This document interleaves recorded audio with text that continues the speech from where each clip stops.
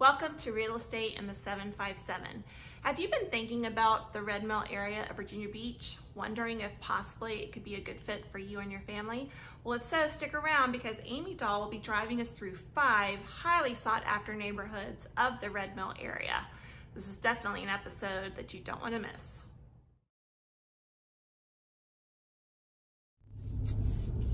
All right, so Sherwood Lakes. We're in Sherwood Lakes, Southern Virginia Beach. Beautiful neighborhood consisting of single family homes and townhomes. When you first come in the neighborhood, there's a huge lake with walking trails around the lake. Uh, there's a park not far from the lake, and it's a beautiful open area. The homes at the front of the neighborhood are single family homes. They're all custom built. They range anywhere from the high 400s, low 500s, all the way up to the 600s for the stuff that's close, for the homes that are closest to the lake. As you get deeper into the neighborhood, there are townhouse style condos. There's a couple rows of those homes. They are large uh, townhouses. Some of them are 22, 2300 square feet with three and four bedrooms. They have attached two car garages and some of them even have finished rooms over the garage. All right, so the pros of this neighborhood.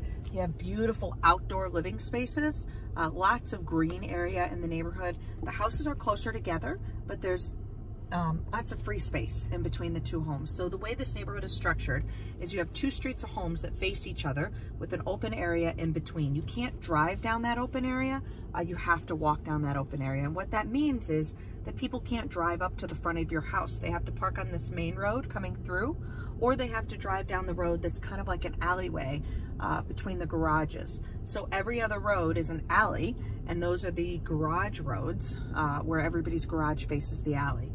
When um, you move in here, people, some people love it. Some people love the fact that you have these big open green spaces off the front porches and their kids can play and they're protected from cars and they really get to know their neighbors. And then other people don't love it. They really want to be able to pull up in the front of their house and walk right up to the front door and they don't want to have to pull to the back of their house. So it really doesn't appeal to everyone, but people that live here absolutely love it.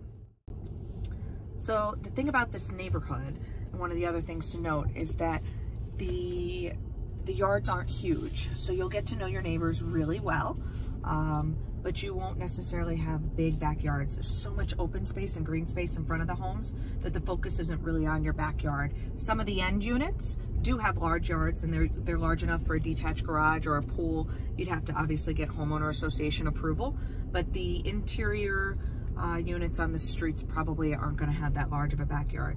Even the townhomes, however, in this neighborhood do have small footprint backyards, so you get a little bit of grass uh, over in the townhome area as well.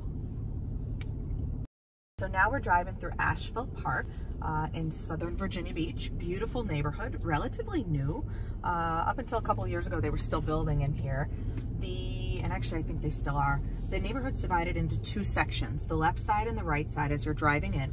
The left side's more expensive and bigger homes than the right side. Um, on the left side, you have custom builders like Larry Hill, Stephen Alexander.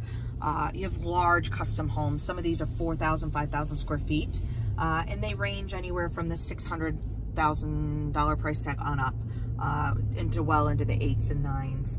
There are some beautiful homes here absolutely stunning, gorgeous homes. There are two things to note about Ashville Park though. One is that you cannot have a privacy fence. So if you have a big dog and you're looking for a wooden privacy fence, uh, this is probably not the neighborhood for you. You are required to have the black decorative wrought iron fences if you're gonna put a fence up.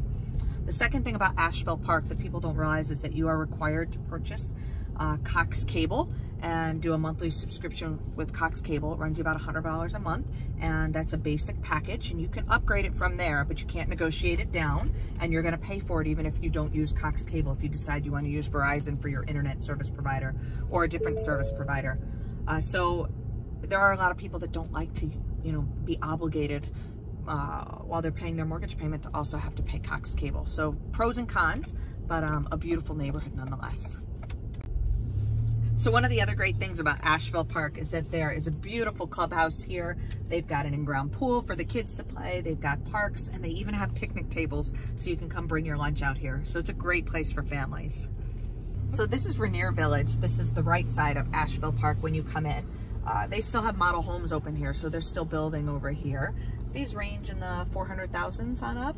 Uh, they're a little bit closer together, and a little smaller than when you go over to the left side of Ashville Park, uh, but they are equally as beautiful. There's still parks over here. You can see right behind me, there's a nice park. Lots of kids, a very family-friendly neighborhood. So now we're in Munden Farms in Virginia Beach. This is a newer neighborhood built by Ryan Homes. There's a lot of different floor plans and models in here and they were all custom built, but Ryan Homes was the builder when this was being built. There are no neighborhood amenities in here, so there's no pools or tennis courts or anything like that.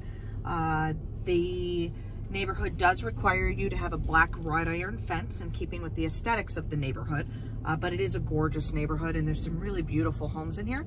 You're close to shopping and close to restaurants and the homes in this neighborhood range anywhere around 600,000 on up. So now we're in Heritage Park, one of my favorite neighborhoods in Virginia Beach. This is a custom built neighborhood. Several different local custom builders built here.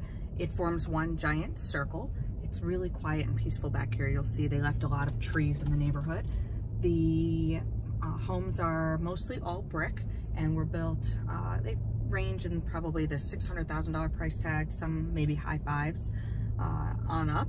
They're gorgeous homes and um, and lots of sidewalks, lots of places to walk with your dog and push a stroller in this neighborhood and a lot of families as well. So at the front of the neighborhood here in Heritage Park, there is the EquiKids facility. So EquiKids is a local nonprofit. They are dedicated to equine therapy services for special needs individuals. And uh, it's a state-of-the-art facility that was built in 2009 and the land was actually gifted to them by a local developer. It's amazing. It's an amazing run organization. So a few years after opening, they expanded their services to include Equivets. So instead of just focusing on children, they focused on our military.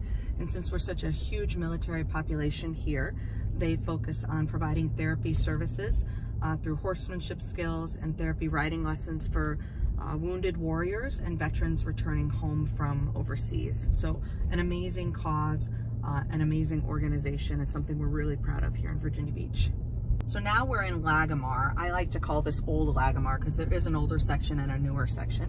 Unlike some of the other neighborhoods in Red Mill, uh, Lago Mar is, it was built in the 70s and 80s. It's not new construction and it has huge established trees. It's a beautiful, quiet, peaceful feeling as you drive through Lago Mar.